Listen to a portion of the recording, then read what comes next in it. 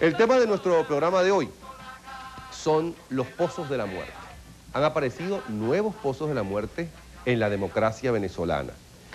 Quiero darles la siguiente información. Durante la dictadura, durante la dictadura brasileña, hubo 600 desaparecidos. Solo en el cementerio, solo en el cementerio de Santa Bárbara del Zulia, hay más de 600 desaparecidos sin identificar, según declaración del sepulturero Caracielo Paz, ante el juzgado del municipio Colón a cargo de la juez Údula Quintero y el fiscal del Ministerio Público Antonio Gutiérrez. Antonio Gutiérrez, por cierto, está aquí con nosotros, es nuestro, uno de nuestros invitados de hoy. Antonio Gutiérrez, que es abogado, fiscal noveno del Ministerio Público del Estado Zulia, con sede en Santa Bárbara. A su izquierda está Johnny Durán, concejal del MAS en el estado Maracaibo, quien denunció el caso de los nuevos pozos de la muerte en Maracaibo, en el cementerio municipal Corazón de Jesús. A su izquierda, la doctora Lolita Anillar de Castro, senadora del Congreso de la República, perteneciente al equipo eh, que investiga los pozos de la muerte. Y también está con nosotros Walter Márquez, diputado al Congreso de la República, presidente de la Subcomisión de los Derechos Humanos en la Comisión de Política Interior de la Cámara de Diputados. Hoy justamente en el Nacional el doctor Ramón Escobar Salón, hablando de este sistema democrático y su crisis, dice, hay que ponerle un límite radical a la creciente violación de los derechos humanos. Venezuela hoy está a la cabeza de los países en que se violan de manera más notoria los derechos humanos. Parece inconcebible que una democracia política pueda sufrir de semejante mal no se tiene ningún respeto por el ciudadano y, este también, eh, y esto también es consecuencia de un problema de cultura política. Y en el Universal de hoy, eh, Álvaro Rodríguez Vez escribe, el Estado venezolano es generoso con los pícaros y mezquino con los necesitados. Quien se atreva a meter las manos al erario público tiene asegurada la impunidad, pues los mecanismos legales se han venido sofisticando para que solo los menos vivaces vayan presos y como ya lo he dicho alguna vez, el caso ha llegado eh, de que a los ladrones se les vuelve, se les ah, el caso ha llegado de que a los ladrones se les devuelve lo robado. Claro, a los grandes ladrones, a los ladrones de cuello blanco, a los ladrones que están mezclados con la política. Eso sí es verdad que no se les puede tocar. Marcos Pérez Jiménez tuvo 125 muertos que todos ustedes conocen porque no hay calle de pueblo, río o caserío que no lleve los nombres de los 125 muertos. No hay plaza y uno de estos días como eh, necesitan ponerle nombres así para de alguna forma olvidar el pasado, ¿no? O recordar el pasado, un pasado glorioso que tuvieron realmente importante, bueno, glorioso, importante de lucha, eh, hasta las iglesias van a también ponerle nombre de esos 125 muertos. Solamente en Maracaibo, solamente, ¿no? Hay muchísimos más muertos que los 10 años donde Pérez Jiménez fue figura central del país, unos con la Junta y otros como el presidente absoluto del país.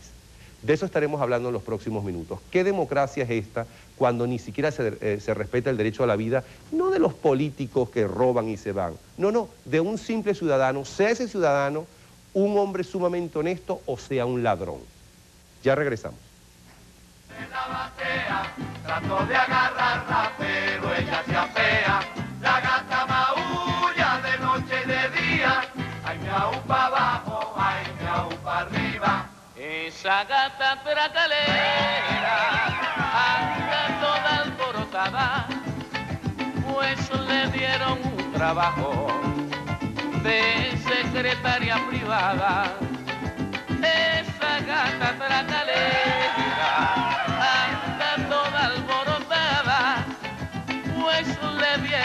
trabajo de secretaria privada. Se montó la gata sobre la batea, trató de agarrarla, pero ella se apea.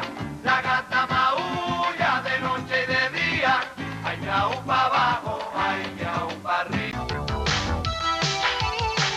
Ahora con el crédito total de consolidado del mueble usted puede comprar lo que necesite para su hogar. Un televisor, cómprelo a crédito. Un juego de recibo, cómprelo a crédito. Un, juego de dormitorio, cómprelo a crédito. Un colchón, cómprelo a crédito. Lo que quiera, lo que necesite en su hogar, cómprelo a crédito con el crédito total de consolidado del mueble.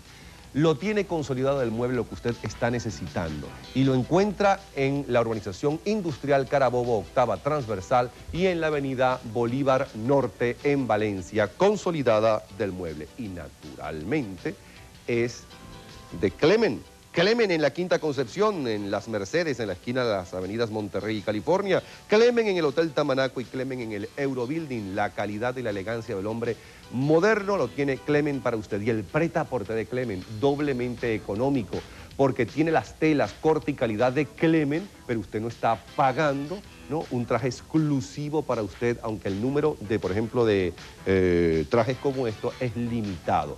Por lo tanto, usted paga la calidad de Clemen, pero no a Clemen como sastre exclusivo. Ahora, que si usted tiene problemas físicos y entonces es demasiado bajito o demasiado alto o es jorobado y necesita un, eh, un traje especial, entonces ya tendrá que pagar, si usted quiere estar vestido elegantemente, mucho más caro, porque Clemen como sastre exclusivo para usted es sumamente eh, costoso, eso es verdad. Aproveche el pretaporte de Clemen, que es mucho más económico, doblemente económico. Salimos a la calle, ¿qué sabe usted de los pozos de la muerte? Está en la prensa. En realidad no sé hasta los momentos nada. Bueno, realmente sé que ahí han tirado a muchas personas inocentes como culpables. Parece que son abusos de autoridades policiales. Que es una vergüenza para nosotros en este país. 30 años de inseguridad. ¿Y qué opina el Estado? Nada. Bueno, es un suceso que ha tenido mucha repercusión en el país. Eh, se han hecho muchas investigaciones y a las cuales no han llegado a nada. Breve recuerdo entonces, en marzo del 86, eh, Luis Gómez, Carlos Tablante y Rafael Guerra Ramos eh, denuncian ante la opinión pública los pozos de la muerte de la cañada de la distrito Urdaneta en eh, Maracaibo. El 4 de abril del 86, eh, nuevas denuncias, esta vez en Puerto Cabello, son tres cadáveres en el cementerio municipal de Puerto Cabello. El primero de octubre de este año, ustedes recuerdan que con los pozos de la muerte de Maracaibo hubo un enorme escándalo, una movilización general, las autoridades lo negaron y claro, se daban golpes de pecho, etcétera, etcétera. E inclusive en el diario de Caracas se pidió, se empezó a pedir, eh, se abrió una cuenta para tener dinero para investigar eh, en profundidad los pozos de la muerte y sus responsables. Eso lo cortaron evidentemente por presiones del de, eh, gobierno. y eso que estamos en una democracia. El primero de octubre de este año aparecen 242 cadáveres nuevamente en el Zulia, pero esta vez en el cementerio municipal Corazón de Jesús, denunciado por Johnny Durán, a través, por cierto, eso fue el lunes pasado, de eh, la columna de Maracaibo. Estas son las primeras eh, denuncias que se hacen. De, desconocidos enterrados en cementerios pasan de centenares. Y el seis días después, el 7 de octubre, también entonces la semana pasada, nuevos pozos de la muerte, esta vez en el municipio Colón, lo denuncia Manolo Silva. Ah, bueno, esta es la denuncia de Manolo Silva de la columna. Aquí se calcula que hay 600 muertos esta vez, es decir, más que todos los muertos de la dictadura brasileña. Y entonces, ¿dónde estamos? Walter Márquez tiene la palabra. Bueno, efectivamente, Napoleón, vivimos en un país donde la gente no tiene seguridad ni en vida ni después de muertos, porque hemos descubierto una serie de irregularidades en los cementerios municipales eh, que superan realmente las cifras que tradicionalmente se habían dado y en una inspección judicial que efectuamos la senadora Lolita Nillar de Castro, eh, junto con el diputado Rodrigo Cabeza y el fiscal eh, Antonio José Gutiérrez de Santa Bárbara del Zulia, el tribunal dejó constancia a petición nuestra de que eh, no se llevaban libros en el cementerio municipal de Santa Bárbara y de que los muertos superaban el número de 600 personas, de acuerdo a las informaciones del señor Caraciolo Paz, eh, que es el sepulturero, conocido como tal. Eh, si observamos, desde el año 86 para acá, después de los pozos de la muerte denunciados por Luis Gómez y Carlos Tablante, luego encontramos la denuncia de José Ramón Bello con respecto a irregularidades en entierros en eh, Puerto Cabello, posteriormente las investigaciones que hace Johnny Durán en Maracaibo, y en base a la denuncia que hace el corresponsal de la columna en Santa Bárbara del Zulia, Manolo Silva, yo me aboqué junto con Lolita a esta investigación y el pasado eh, miércoles la Comisión de Política Interior eh, facultó plenamente a la Subcomisión de Derechos Humanos que yo presido para realizar esta investigación. eh, no estamos en capacidad de informar que todos esos muertos corresponden a organismos de seguridad del Estado, que los hayan ajusticiado y los hayan enterrado. Pero es tan irregular los entierros que también se presta a muchas dudas. Hay casos como esto. Aquí tenemos o, una fotocopia, y eso eh, consta en la inspección judicial, de una factura de un negocio donde dice el distribuidor calle Sociedad Anónima, eh, un, eh, un saco Super 20 cancelado, y al dorso eh, dice el médico forense, el señor Taca, favor de cristiana sepultura al cadáver no identificado, quien se encuentra en avanzado estado de putrefacción. Atentamente, doctor Rufino Morales. Detrás de una factura Detrás de una factura. No, es que es increíble. Él traje una factura eh, y eh, yo creo que allá es como la canción mexicana, allá en Santa Bárbara del Zulia la vida no vale nada. ¿no? Porque no puede ser que era una simple factura donde se señala que cuesta 85 bolívares el producto. Al voltear, ordenan enterrar a un, eh, una persona no identificada. Lo grave es que de acuerdo a la ley orgánica de identificación, Ay, no leas las leyes, y eso bueno, parece que no funciona. Bueno, Pero ¿Para pero qué vamos a leer las leyes? pero por lo menos tenemos que hacer referencia. si, si, conociéramos las leyes y las hiciéramos a respetar, nosotros como opinión pública, este país sería diferente. ¿no? Porque también es bueno decir que cuál es la parte de nuestra responsabilidad. Yo estaba viendo ayer eh, la televisión española y hay un reportaje sobre las drogas en los grandes eh, centros de ranchos, ellos los llaman allá los ranchos chabola, porque no crean que solamente nosotros tenemos ranchos. Lo que pasa es que cada vez tenemos nosotros aquí más ranchos, es decir, cuando cae Pérez Jiménez, se anunciaba el Pacanís, el gobernador, anunciaba ese año eh, diciembre del 57 que los 10.000 ranchos que quedaban en Venezuela, en Caracas, miento, en Caracas, iban a ser eliminados. Hoy tenemos no 10.000, ten- tenemos miles y miles y miles más.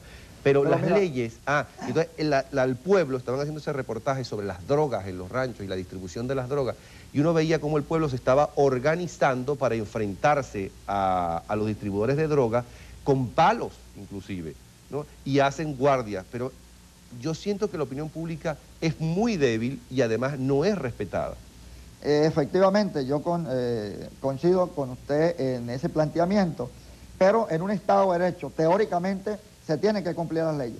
Ese es el problema que los médicos forenses, que por cierto, los médicos forenses, eh, la mayoría de ellos se sienten más funcionarios policiales que médicos forenses, eh, han eh, violado el propio código de medicatura forense, que aunque es temporáneo, es de 1878, está vigente. Por otro lado, si han violado todas las normas del Código Civil, que eh, tiene señalamientos expresos que cuando se consigue un cadáver no identificado se tiene que abrir una investigación. Eso lo va a exponer con mayor detalle Lolita Nillar Va- de vamos a que lo publique, pero- Y este, el otro aspecto que se ha violado aquí son eh, las eh, normas que han sido publicadas con respecto al reglamento de cementerios, inhumaciones y exhumaciones de la época de Rómulo Gallego, de 1948. Es decir, que están haciendo todo una, eh, un procedimiento irregular al margen de la ley, enterrando cadáveres no identificados, eh, prestándose para encubrir delitos para la violación de los derechos humanos, y ya vimos lo del recibo, que es algo eh, reprochable, que un médico forense, violando el código de ética, ordene enterrar eh, un cadáver en un simple recibo, una simple factura. Ahora, le pregunto a la senadora Anillar, Lolita Anillar, de, bueno, aquí sale hoy, hoy, en el Nacional, hoy, que evidentemente no es ningún periódico subversivo, ¿no? En el Nacional, que lo lee todo el mundo, y lo escribe el doctor Ramón Escobar Salón. Hay que ponerle un límite radical a la creciente violación de los derechos humanos. Venezuela está hoy a la cabeza de los países en que se violan de manera más notoria los derechos humanos. Parece eh, inconcebible que una democracia política pueda sufrir de semejante mal. No se tiene ningún respeto por el ciudadano y este también es consecuencia de un problema de cultura política. Pero se lo dice hasta el propio Ramón Escobar Salón, entonces no hay nada que hacer. O sea, hay un escándalo montado en el país ah, en el año 86 porque aparecen unos muertos, unos pozos de la muerte y eso no significó absolutamente nada porque siguieron apareciendo, o sea, lo siguieron ejecutando, lo siguieron haciendo. Entonces, ¿de qué vale hacer programas como estos? De nada, esto es una dictadura donde tiene como, como ventaja de que uno habla y se desahoga y ya está. Pero siguen las cosas. Pero no es cierto exactamente, Napoleón. Yo te voy a decir que programas como este tienen un- una gran importancia, una gran trascendencia. Eh, cada vez que se hacen denuncias de esta naturaleza, los cuerpos de seguridad cuando son responsables de estas acusaciones se inhiben de seguirlas haciendo. Yo siempre he dicho que... Pero en este caso no lo hicieron. Yo- o estos muertos son también del año 86. Sí, desde el 83 en adelante los del Zulia y los de Santa Bárbara, in- imposible saber desde cuándo porque la irregularidad en los entierros es tal- tan grande que no se puede saber. De hecho, dice el enterrador de Santa Bárbara que alguien entró en el cuartito del cementerio y se llevó algunas cosas y quemó un grupo enorme de papeles, justamente los que tienen que ver con los desaparecidos, que casi no quedan planillas allí de enterramiento. Planillas es un decir, porque ya tú has visto que no son planillas. Pero yo quiero decirte que sí tiene un sentido. Eh, por supuesto, eh, yo creo que la Fiscalía está haciendo un trabajo importante. Lo único que tiene que contar con la colaboración muy eficiente del Poder Judicial para esto. Aquí estamos en presencia de irregularidades de todo tipo, en los cuales están incluidos hasta los alcaldes, las primeras autoridades civiles de los municipios, que son los únicos que pueden autorizar inhumaciones. Es decir, que un médico forense no puede autorizar una, inhumación. En Maracaibo lo hacían con órdenes de enter- o permisos de enterramiento que son, específicamente destinados a, a los casos de epidemia, a los casos de grandes catástrofes públicas, donde se puede mm, producir un contagio y hay que enterrarlos de emergencia.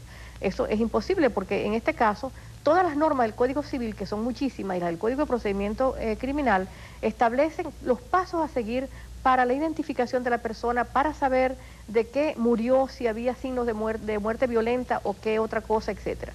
Porque las leyes protegen a los seres humanos desde el momento de su nacimiento hasta su, desde antes del nacimiento, de hecho es de- desde antes porque el, por ejemplo el delito de aborto existe, hasta su muerte. Eso es las leyes, es decir, teoría. Exacto, Pero hasta este momento práctica, ¿qué es lo que está efectivamente. pasando y cómo cambiar lo que, la situación que está pasando? Bueno, yo pienso que la Fiscalía tiene un gran papel que, que desempeñar. Yo sí, sí estoy de acuerdo con el fiscal eh, Ramón Escobar Salón de que en Venezuela estamos realmente a la cabeza de la violación de derechos humanos. Yo eh, inicié un debate sobre esto en el Senado que fue bastante vivaz, fue a, a principios del año pasado, cuando empezábamos apenas el periodo.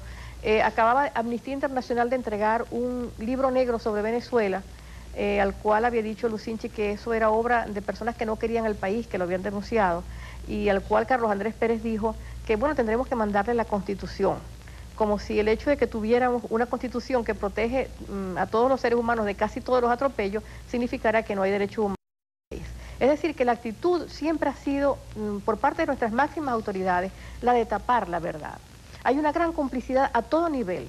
Y por supuesto, yo te voy a decir que lo más grave en este caso, yo quiero que insistamos un poco sobre esto en esta discusión, es que la Policía Técnica Judicial es la que hace los sumarios, la que investiga los casos y al mismo tiempo es la que pudiera verse implicada como culpable de alguna de estas situaciones. Entonces estamos en muy malas condiciones mientras la PTJ siga escrita a- al Poder Judicial, perdón, a la, la Medicatura Forense siga escrita a la, a la PTJ, en vez de estar escrita, por ejemplo, como propusimos en el Senado, a la Fiscalía General de la República. Ahora, supuestamente, ¿quiénes son estos muertos, estos desaparecidos?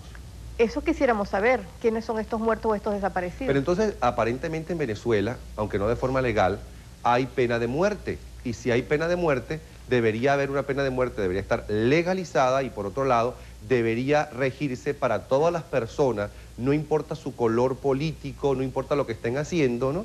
que incumplen con las leyes y que son eh, y que a través de un juicio ¿no? merecen la pena de muerte. Pero da la impresión que la pena de muerte es solamente para un grupo que no es precisamente el gobernante y a lo mejor algunos de los que han gobernado merecen mucho más que los desaparecidos esa pena de muerte. En un momento regresamos.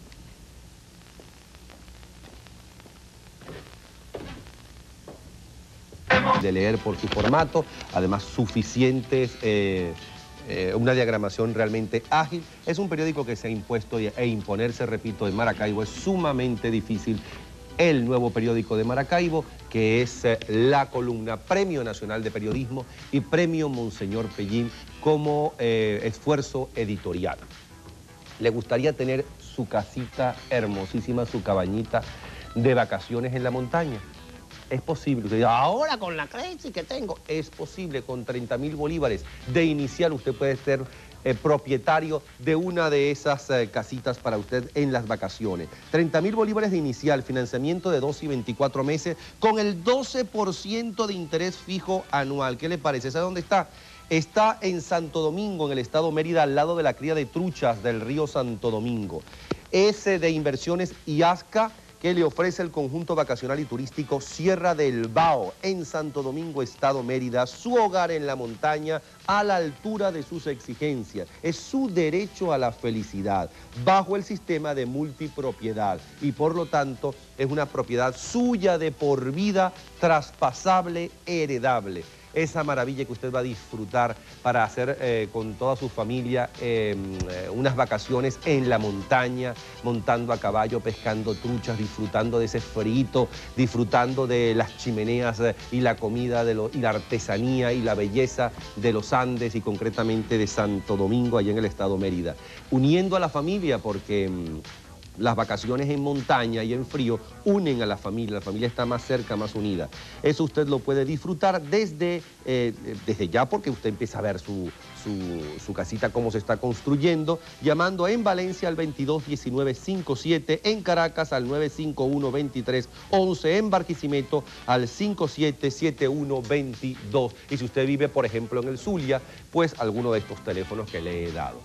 Si usted no ha tenido lápiz y papel para eh, apuntarlos, mañana lo estaremos eh, recordando estos teléfonos y consulte con su media naranja a ver qué le parece eso de tener usted para siempre la oportunidad de disfrutar de unas vacaciones en la montaña. Salimos a la calle y preguntamos quién o quiénes estarían según su punto de vista involucrados en este caso de los pozos de la muerte. Definitivamente deben ser personas de mucho poder. Bueno, yo pienso que deben ser unos aberrados en el, caso de los pozos de la muerte del Zulia. La judicial, porque ellos son los que tienen derecho de tener a las personas y llevárselas así sin tomar en cuenta la, opinión del público. Pues. Durán es abogado, es concejal del MAS en Maracaibo y es quien denuncia los nuevos pozos de la muerte en Maracaibo y concretamente en el cementerio municipal Corazón de Jesús. ¿Cómo llega hasta su poder eh, la información de que no conformes con el escándalo que se forma con los primeros pozos de la muerte, ¿no? aparece, hay nuevos pozos de la muerte? Sí, mira, eh, quisiera antes de precisar que no soy abogado, soy concejal de Maracaibo. Eh, el ah, día primero de abril, perdón, de septiembre de este año, hicimos una denuncia en la ciudad de Maracaibo correspondiente al ingreso ilegal al cementerio Corazón de Jesús de 242 cadáveres ingresados ilegalmente por la PTJ del Estado Zulia, en este caso la que está radicada en la ciudad de Maracaibo, de los cuales 154 son identificados técnicamente por la Policía Técnica Judicial a través de la medicatura forense como desconocidos y 88 mm, identificados. Es bueno observar que en estas cifras que estamos brindando son datan desde 1983 hasta 1990 sin tomar en cuenta los años 86 y 87, ya que no pudimos, hemos podido tener información en los libros que están, en donde se tienen obligatoriamente que registrar los ingresos que por cualquier vía ingresan al cementerio Corazón de Jesús. Es decir, lo que usted está diciendo, y vamos a hablar claro, porque los seres humanos todos somos iguales ante la ley y la constitución de la que habla el presidente. Aquí pasaría lo mismo que pasó con Pinochet, ¿no? que hay una serie de personas que ilegalmente han desaparecido e ilegalmente han enterrado, muertos, que han asesinado. Sean estas personas políticos, banqueros, eh, amas de casa o delincuentes. Aquí está prohibido la pena de muerte, ¿no? Sí, por supuesto. Aparentemente y en teoría. Entonces, hay una serie de desaparecidos como lo hubo cuando Pinochet y como hubo cuando la dictadura brasileña, ¿no? Como no lo hubo cuando Pérez Jiménez, porque en Pérez Jiménez se salen todos los, todos los muertos que son 125. Siga adelante, por favor. es increíble lo que usted está diciendo. Claro, Espero que sea mentira.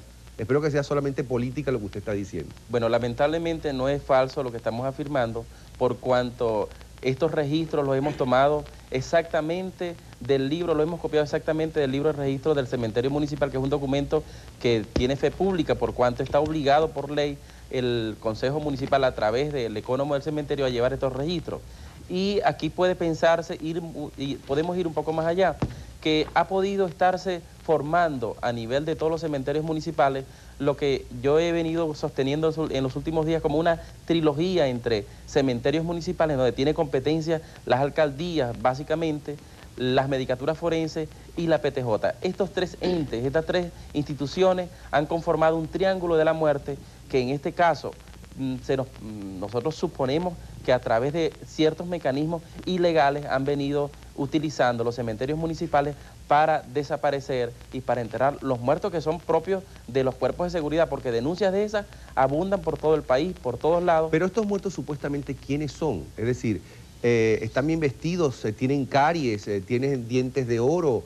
eh, ¿O son gente que aparentemente está, es gente humilde y que posiblemente son eh, gente con antecedentes? ¿Qué se Mira. sabe? ¿Qué supuestamente son estos, estos asesinados, ah, eh, estos, eh, sí, estas personas asesinadas? Sí, sobre eso ahorita no tenemos información precisa porque en eso está abocado el juzgado de instrucción especial que está nombrado para el caso. Nosotros lo que estamos afirmando... Para políticos no son. Por Ni de supuesto. extrema derecha, ni de extrema izquierda, ni de todo lo contrario. Pensamos que no deben ser, ya que la historia de este país, sobre todo los- las últimas décadas, indican que, que esa no es la dinámica que se ha implementado. En todo caso, acá podemos estar en presencia de un acto mm, brutal, de una violación fragante de la ley y que nos puede permitir a nosotros observar que en este país el derecho a la vida está violentado. Y lo peor del caso en nuestra situación es que es un organismo del Estado, es un organismo mm, que está directamente relacionado con los tribunales de justicia porque son los que instruyen el expediente, el sumario, eh, que es en este caso la Policía Técnica Judicial, quien viene incurriendo en anormalidades, anormalidades que violentan todas las normativas legales existentes, tanto las que establece el Código Civil como las que establecen las mismas ordenanzas municipales y las que establece el Código de Enjuiciamiento Criminal. Ahora, eh, voy a dejar una pregunta en el aire para el abogado Antonio José Gutiérrez, que es fiscal noveno del Ministerio Público del Estado Zulia, con sede en Santa Bárbara. Vamos a pensar, que parece que es más o menos lo que sucedió, que los cuerpos represivos del Estado, que están mal pagados, que eh, eh, necesitan más hombres, que se han quejado muchas veces de que, al igual que todo lo que tiene que ver con la justicia venezolana está relegada por el sistema democrático venezolano. Hay quien dice que inclusive la justicia venezolana funcionaba mejor en las épocas de las dictaduras que en estas épocas democráticas de los últimos 15 años, que era en todo caso más imparcial con el ciudadano normal y corriente y funcionaba más ágilmente. Vamos a suponer que esto no lo hacen porque son cómplices de la vagabundería. Los dirigentes, que los dirigentes no lo hacen porque si tienen un buen cuerpo policial de investigación, los primeros investigados serían ellos. Y si no están amparados eh, y si no está metida la política de por medio, entonces como no están politizados ni los cuerpos de investigación y represión, ni el Poder Judicial, entonces ellos serían los primeros presos, algunos de ellos. Si fuera si, la- si, si la, ¿cómo se llama? si los poderes fueran independientes, autónomos y con el mismo poder todos ellos. ¿no? ¿Cómo hace la policía? Es decir, una policía eh, que no tiene suficiente entrenamiento, mal pagada, con poco personal, ¿cómo hace para combatir el crimen? ¿No será que es la única forma que tienen los cuerpos policiales para combatir el crimen y que todos esos muertos, aunque es ilegal, porque la constitución es muy bonita, los cuerpos policiales no les queda más remedio que matar a toda esa gente porque son asaltantes? Y si eso es así, se justifica y si eso es así, siguen siendo responsables las autoridades de esas muertes. En un momento regresamos. Esa gata pracalera anda toda alborotada, pues le dieron...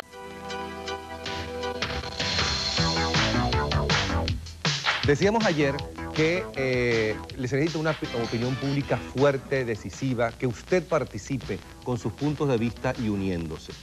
Una forma de lograr que este país sea mejor, no importa la conducción que tenga, que por dentro de la conducción hay gente realmente honesta, trabajadora, eh, y hay gente menos honesta y trabajadora, es su participación. Y una forma de hacerlo, una forma eh, eh, con el cual puede luchar y participar activamente cualquier persona mayor de 16 años con tercer año de bachillerato aprobado es siendo empa- empadronador. Faltan todavía 23.550 empadronadores. Es verdad, hay una negligencia y una bulia porque hay una falta de interés, porque la gente está em, desmotivada por las cosas que ve que están sucediendo en el país sin una sanción. Pero también es bueno ver que hay gente que está luchando para que eso no eh, siga, para que esas cosas que se denuncian no continúen, para que se sancione. Se necesita el apoyo de todos para luchar por que esta Venezuela sea mejor y si es mejor, los primeros beneficiados vamos a ser cada uno de nosotros. Tienes hasta mañana para empadronarte.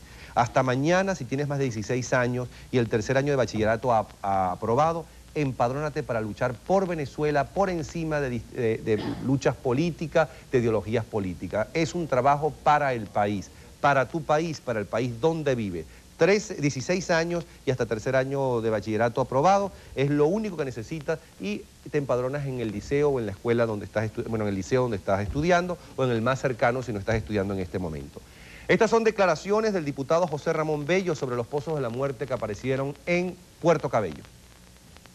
Condiciones que están enterrados, están sin urna esos cadáveres. Lamentablemente, debo decirle al país que esta gente está enterrada sin ningún tipo de urna, simplemente metida en un hueco y apenas 25 centímetros de profundidad, lo que ocasiona también un derecho a la violación, una violación a los derechos humanos con respecto a estas personas presuntamente asesinadas o muertas encontradas en Puerto Cabello y en Falcón, porque la PTJ de Puerto, ubicada en Puerto Cabello tiene ámbito hasta eh, el estado Falcón, específicamente hasta San Juan de los Cayos. Le pregunto, abogado, eh, o le repregunto, o le vuelvo a, preguntar lo que quedó en el aire. ¿Esto no será consecuencia de que los eh, cuerpos policiales del país no tienen suficiente dinero, no tienen suficiente gente con entrenamiento y la, la delincuencia se ha desbordado y la única forma, de forma desesperada, ¿no? Es hacer este tipo de racias? si es que esos desaparecidos son delincuentes. Bueno, ante todo yo quiero aclarar. Esto ¿no? por encima de que sea ilegal. Ya sabemos que es ilegal. Pero también es ilegal llegar a, los- a- a altas eh, pu- puestos en, la- en el Estado y robarse y hacer negocios, ¿no? Y ahí están viviendo y siendo, y sus puertas están abiertas para, eh, de la sociedad venezolana, o buena parte de ella le abre las puertas a todos estos ladrones, y ahí están viajando tranquilamente. Y además presionan para que no se hable en contra de ellos.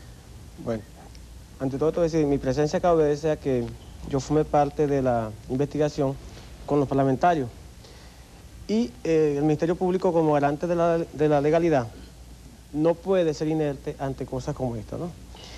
Y es que en ningún, en ningún caso, chicos, ningún cuerpo de policía puede tomarse la, la justicia por sus manos. Porque si fuese legal y todos los presuntos delincuentes, vamos a llamarlo de esa manera, o quienes cometen un delito fuesen tratados de la misma manera, no habría problema, pues. Pero es que esa, esa actuación está dirigida a gente que no sabemos quiénes son y que no vamos a pensar de que son precisamente, o pensemos qué clase es, pues. ¿A quién está dirigida esas actuaciones? No se puede justificar porque los órganos de seguridad sean eficientes, no. Mientras sea ilegal la pena de muerte. En el momento que sea legal la pena de muerte, para pero eso no lo van a leg- legalizar nunca, no porque estén algunos dirigentes pensando en el pueblo, sino porque están pensando en ellos mismos, Exacto. porque dirán, bueno, después cuando nos persigan y nos tratan de ajusticiar, van a tener suficientes motivos para aplicarnos la pena de muerte. Por supuesto. Pero entonces, ¿usted qué- quién cree que son estas personas que están allí enterradas? Bueno, porque es- gente muy conocida no debe ser, Exacto, porque si no se hubiera formado ya el escándalo. Los eh, familia- ¿Y dónde están los familiares de esa gente? Precisamente fíjate que este, es tan grave la situación que se comenta de que hay cementerios particulares en Santa Bárbara del Zulia. Más grave todavía. aún. ¿Cómo cementerios particulares? Cementerio en las haciendas, cementerio... ¿Qué es lo que vamos a averiguar? ¿Cómo que cementerio en las haciendas? Sí, se discute. Se dice que matan a alguien, lo entierran en una hacienda y no saben quién es. ¿Lo matan los hacendados, dice usted? Ah, no, no, no, no, es que eso es lo que vamos a, a- a abocarnos a averiguar, ¿no?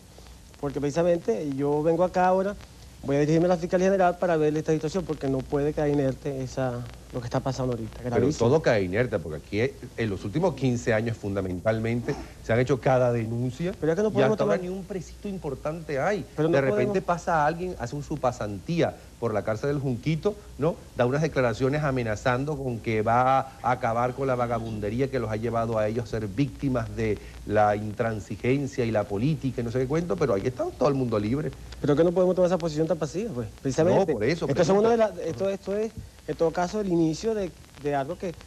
Yo sé que la Fiscalía General no puede, no se va a quedar así. Eso tenlo tú por seguro y vamos a ver hasta dónde vamos a llegar. Le vamos a poner una- mire que le vamos a poner unas velas. Porque que no funciona, aquí no funciona. Bueno, por lo menos con la CanTV ni velas, ni rezos, ni nada funciona. No, no, pero no, ¿qué perdóname, dice? yo no puedo ser, asumir esa posición porque evidentemente, y los hechos lo demuestran, pues. La Fiscalía se ha abocado a una serie de, de situaciones que irregulares, pero que sí se están... Ahora, pero la, la posición de la opinión pública, ¿no cree que hay que eh, zarandear un poco a la opinión pública y decirle, bueno, pero usted también no se limite a quejarse en su casa? ¿no? empiecen a organizarse, empiecen a protestar, empiecen a indignarse, le están pateando en el trasero, ¿no? Y usted lo que único que hace es refunfuñar. Bueno, fíjate, para eso, evidentemente, una de las misiones que tiene la Fiscalía General, el Ministerio Público, es eso, de que el ciudadano común, porque el ciudadano común evidentemente que está más desprotegido, se aboque a la Fiscalía y haga las denuncias correspondientes y nosotros, como garantes de la, de la legalidad, como lo dice la Constitución, nos abocamos a conocer las situaciones. Y hemos visto algunos casos. ¿Qué dice Durán? Sí, bueno, mira, en Maracaibo hay tres denuncias concretas de familiares sobre desaparecidos. Está el caso de Leonardo Bravo Moreno, desaparecido el 17-3 de 1984 por una comisión de la Policía Técnica Judicial. Fue, fue tomado de su propia casa, fue llevado de su propia casa. Está también el ciudadano Edgar Carrullo, 2005 de 1985. Y está también uno de los casos importantes eh, del estado Zulia, de Maracaibo, el caso de Jorge Rogelio López Silva, en noviembre de 1985. Dentro de las investigaciones que estamos efectuando, los familiares tienen la incógnita si uno de los desconocidos que fueron enterrados en el cementerio Corazón de Jesús pueden ser estos, sus hijos, sus hermanos o sus familiares. Y esto es una pregunta que nos estamos haciendo y es parte de la investigación que estamos efectuando porque la lista, decíamos anteriormente, la li una lista como esta están haciendo, la estamos reconstruyendo y es posible que encontremos alguna de estas personas enterradas en el, en el cementerio Corazón de Jesús. No va a ser fácil, pero eh, es parte de la investigación y, creemos que las actuaciones que tanto los fiscales como los tribunales que, que están abocados al caso deben de llegar hasta las últimas consecuencias y determinar quiénes son esas personas que allí están enterradas. Y le preguntamos a usted, ¿qué castigo según su punto de vista merecen quienes ocultan hechos tan graves como estos pozos de la muerte? Sinceramente pienso que debería de haber un castigo implacable porque todos debemos ponernos en el dolor de cada una de las personas. Entonces el castigo debe ser fuerte, fuerte para cada uno de ellos este, se le debe aplicar todo el peso de la ley. Bueno, que le hagan a ellos lo mismo que ellos están haciendo, pues. Bueno, yo eh, la pena de muerte. Bueno, yo pienso que se le debe dar la pena máxima. Bueno, eh, todo el peso de la ley. Es más grave todavía porque la gente está como entregada un poco a los atropellos de la violencia oficial y no hace esas reclamaciones a las que tú has hecho referencia, que son muy importantes. Porque allí hay, solamente en Maracaibo, hay 244 muertos, 154 de los cuales son desconocidos. Es decir, que hay 154 desaparecidos. En, hay, quiere decir también que hay 154 familias donde falta una persona y no se sabe dónde está esa persona. A nosotros nos dijo un alto funcionario de la Dirección de Policía Técnica Judicial que esos no eran desaparecidos porque ahí estaban los cuerpos pero un cuerpo que no se sabe de quién es, es un desaparecido para alguien.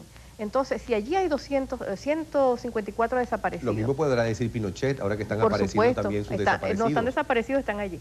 eh, y los, dos, los 600 o aproximadamente 600 que hay en, solamente en Santa Bárbara, bueno, esos también son desaparecidos. ¿Dónde están las familias de esos desaparecidos? ¿Por qué no han protestado? Claro que se han violado las disposiciones legales que decían que tenían que publicarse eh, los, los, eh, los, datos de posible identidad de las personas, se obviaron los requisitos de tratar de identificar a las personas, eso eso hace que la gente simplemente no sepa dónde fue a parar la persona. Pero, Pero ¿por qué, yo, yo he sentido que la gente de... tiene mucho miedo. Tienen miedo. Muchos sectores. Tienen miedo porque son amenazados. ¿A quién ponen la denuncia de ellos? A la PTJ. La PTJ en el caso de este señor Moreno, Bravo Moreno, le dijo a la mamá que, que, bueno, que si seguían insistiendo con eso, le iban a poner presa ya también. Aquí tenemos el testimonio de Enerio Enrique Hernández, de los familiares de Enerio Enrique Hernández. Adelante, video que apareció en este llamado Pozo de la Muerte, que en el día de hoy, domingo, todavía se continúa explorando. Hasta estos momentos han aparecido restos de aproximadamente unas tres personas, entre ellas el de Nerio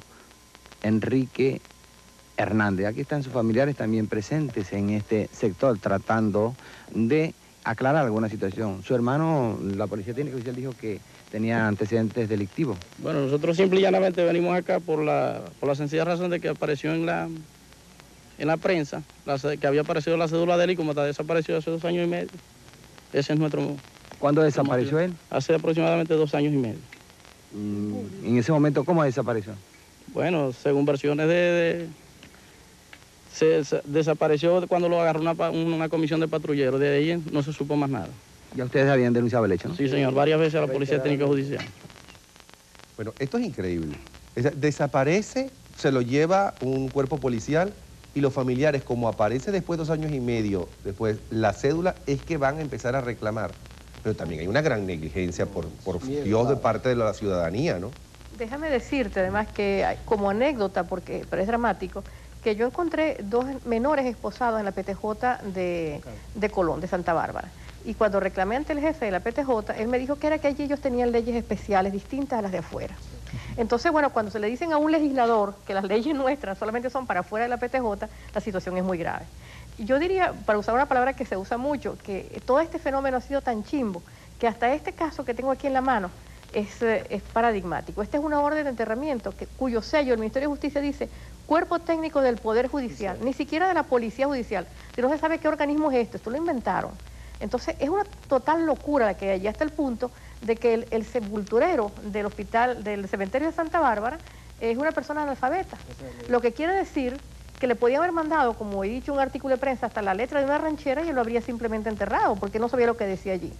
Pero bueno, se han obviado todos los requisitos legales.